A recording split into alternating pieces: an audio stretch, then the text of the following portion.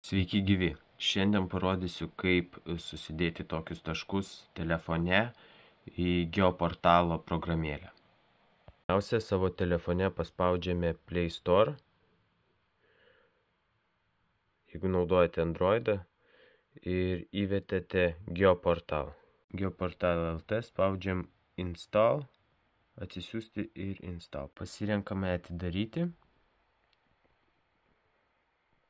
Jungus geoportal programėlę iš karto rekomenduoju susikurti savo akantą. Spaudus prisijungti įvedame savo naudotojo vardą ir slaptažodį.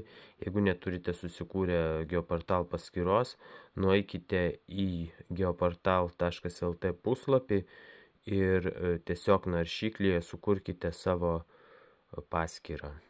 Met paspauskite ant nuorodos, kurią pasidalinsiu po šiuo video ir atsidarius nuorodą matysite du zip failus, kuriuos reikės įkelti į geoportal programėlę. Paspaudus ant vieno iš jų, viršuje pasirenkam atsisiuntimo ženkliuką ir continue. File downloaded. Atsisiunčiam vieną failą ir analogiškai padarome tą patį su kitų failų.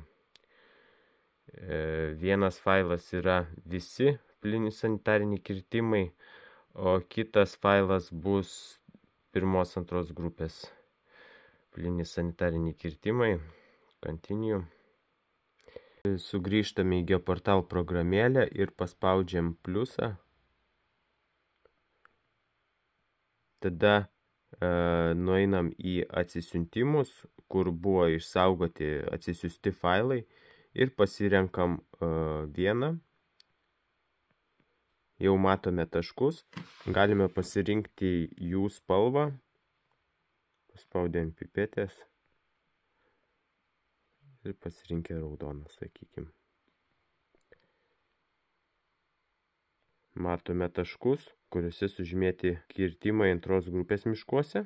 Spaudus pliusą dar kartą pasirenkame kitą failą ir turėsime dabar visus kirtimus, matot, pajuodėjo taškiukai, ne tik antros ir pirmos grupės miškuose, dėl to pasirinkime kitą spalvą, sakykime geltoną, pasirinkti spalvą ir pasirinkime per šviečiamumo maždaug ties viduriu pasirinkime. Tada matom, kad antros grupės miškai bus raudonesni, o ki kita grupė bus geltoni. Toliau labai pravartu padaryti, dasidėti daugiau sluoksnių, kad matyti miškų sklypus. Pasirenkam šitą, viešosios paslaugos ir įvedame miškų kadastro duomenys. Pasirinkę matome užbrukšniuotą plotą ir daug kitų vaizdų. Tada pasirenkame ant sluoksnių ir nuimkime kol kas miškų pogrupius. Čia pažaidę su šitais nustatymais galite matyti gana daug įdomios informacijos. Taip, ir dabar matome, kokio, kokiuose sklypuose yra sudėlioti tie taškai. Toliau uždarome šitą nustatymą, vėl pasirenkame viešasias paslaugas ir įvedame EB.